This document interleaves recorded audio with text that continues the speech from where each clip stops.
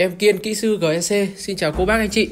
Sau đây em xin chia sẻ cho mọi người cách chống thấm tốt nhất cho phần mạch gạch ở trong khu bếp. Chúng ta cần thực hiện theo các bước sau. 1. Chuẩn bị bề mặt. Sử dụng dao để loại bỏ toàn bộ bụi bẩn và tạp chất trên mép gạch. Dùng máy thổi để thổi sạch bụi trong các khe gạch. Sau đó dùng khăn vệ sinh sạch sẽ toàn bộ phần mạch gạch. 2. Áp dụng keo chống thấm. Lắp keo vào súng và vòi bơm Tiến hành bơm keo lên toàn bộ các khe gạch mà bạn muốn chống thấm. 3.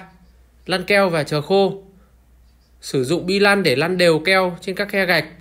Chờ khoảng 2 đến 3 tiếng để keo khô. 4. Hoàn thiện.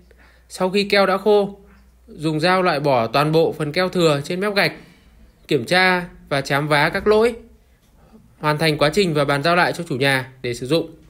Để được tư vấn về xây nhà chọn gói, hãy gọi cho em theo số điện thoại 094 328 1112. Trần Kiên GSC chất lượng tạo niềm tin.